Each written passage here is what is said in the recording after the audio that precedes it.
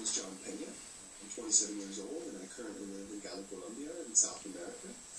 And so I thought I would begin by showing a video I made of me racing a cloud.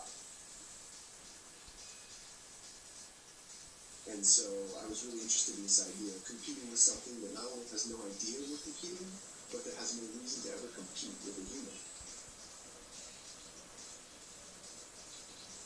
And in a world where there's so much division, it's really refreshing to be reminded that these are some things we share in common, genetically ingrained into our bodies, into our retina, this blue sky, the landscape,